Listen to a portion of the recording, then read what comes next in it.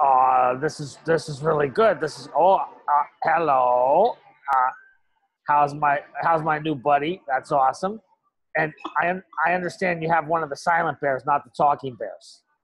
He is a silent bear. I, I speak to him through a mind connection. That's okay. That's okay. Most I I have to be honest with you. There's much more non-talking bears than talking bears. Only a few. Of I know. I mean, like you're seriously, you're seriously impressive, Thank. Bobby, and, Thank you. and like Will is also seriously impressed. Yeah, there you go. Well, that's very nice. But I hear I hear William has uh, traveled the world.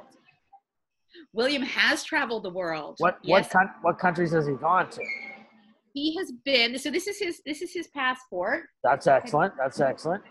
Passport with his with his picture in it. Oh, he travels legit. He travels legit. He doesn't do the back road traveling like I have to. No, no, Okay. no. And he goes through customs and he gets his stamps, uh, Very just like nice. everybody else. And where's he been? He's been um, in Brazil. He's been in Australia. He's been Nice.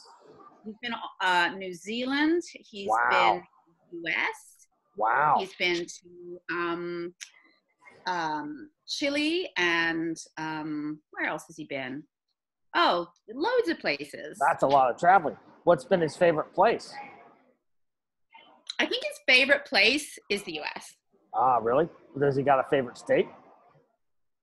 Massachusetts, Oh, he likes the chowder. Boston. He likes the chowder. He likes the. Red Sox. There you go. He likes that. Now, was there any uh, situation that he got into in any country where it was a bad deal and he had to get out really fast? Oh, you know, he had a terrible bungee accident in New Zealand. Oh my gosh. Um, Let's talk about fact- that. What happened? You can see like his lovely velvet outfit on Uh-huh, there. uh-huh. Yes, I, yes. he decided he wanted to do a bungee jump um, Right. off the Kawarau Bridge, okay. and um, and That- the, the that doesn't sound good. the crew there were up for it. So Okay. so he he went out on the bridge Right? and he and he, and he did his jump, but it was it was a near catastrophic, near fatal accident. There was a cat involved? Was there? Because whenever there's a cat, I No cat. No, Oh, okay. there was it was but- it was nearly barastrophic. but because it was catastrophic yes.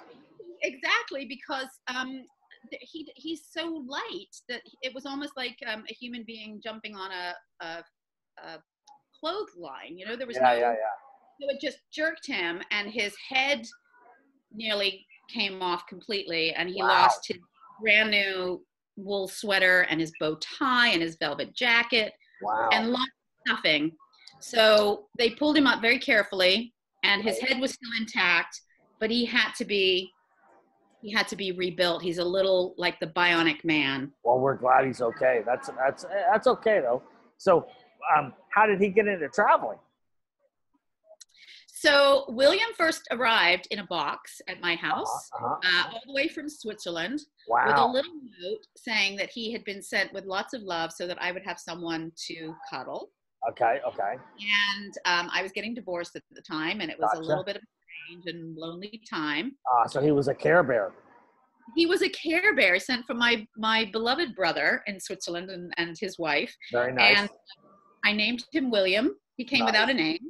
Okay. named William. And then and then because I was traveling a very great deal at the time, Uh huh. he came with me. That's great. That's very good. So, what's uh, your fondest memory of William? Oh, my fondest memory. I think our trip in New Zealand, because after he hurt his neck, I hurt my neck. Oh my gosh, that's not good. And we were in a car accident. And so we were both in Nelson in New Zealand getting our necks fixed. Uh huh. and then and working with dolphins Right. um, on a project out there, and it was very healing and very wonderful. what were you uh, doing with the dolphins? Because one of my things is to find my porpoise. So, uh, uh, what were you doing with the dolphins? we found lots of porpoises, Yeah. like 300 of them. We were we were doing a study with um with working with some scientists to do a study on the effects of swimming with dolphins with the on the dolphins. Oh, they must And get it was- pissed off sometimes. They're not. They they do quite like it, but it is a little disruptive, particularly telling in you. the If I was a if I was a dolphin and all the time I had these people coming up to me to sur- to swim with me and to pet me, I'd be a little pissed off, to be honest with you. I wonder what my EKG, I wonder what my neuroscience data would be on that. they don't mind it so much. They're very interested. They're very loving towards human beings. But there are certain times when it's better not to try and swim with them when they're just Gotcha. doing things that humans need to do. Gotcha. So is that what you do for work? You do science stuff? I don't do science stuff, no. But I really. I wanted, to, like, I, I am a, I was a kind of wannabe scientist. Oh, that's great. And Earthwatch allows you to go and be a wannabe scientist. So you're like a, a science groupie. You're like a science groupie. Yeah, yeah, yeah. yeah. Got a petri dish, you got a petri dish in your back pocket, and go on an adventure. Uh, that's oh crap. I gotta go. I really enjoy this. I want to stay in touch with Willem.